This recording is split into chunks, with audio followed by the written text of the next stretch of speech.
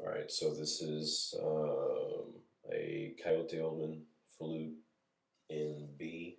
This is a rim-blown flute.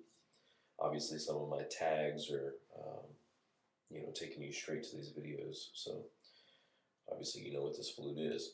So um, I'm not able to hit the the high scales, the high pitches and stuff. Um, I can pretty much just go low and medium but I'm still learning. If I if I get the high ones, I try to go for it and you know sustain it and keep it. But um, I usually get out of breath, and I find that um, this flute is extremely hard to play, and um, for some reason I kind of shut down when my breath gets hot inside it. If the condensation builds up or something, um, I tend to lose it. So, if any of you guys have any pointers uh, on how to, you know, better that, uh, please let me know. Mm-hmm.